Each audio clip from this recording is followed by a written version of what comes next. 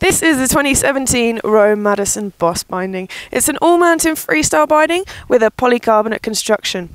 Um, it's a, got a unibody base plate, which gives smooth response in all directions. It's also light. It also has consistent flex because it's just one piece. The flex on this binding is, is classed about a 6 out of 10. It's medium to responsive binding, um, hence the all-mountain element of it. Um, the high back is a Madison Asym high back, so you can see here that it's not symmetrical, and that's because it's anatomically contoured to female riders, so this is designed with women in mind. It's also got a V-rod base plate, so I don't know if you can see, but there's some raised corners, um, and that gives you flexibility in freestyle. They have something called Yes I Can't technology in the Rome Madison Boss. That's where it comes with two footbeds, one that's at zero degrees, so it's flat, and one at 2.5 degrees, bending your feet in a little bit. Um, you get the choice of one or one or the other.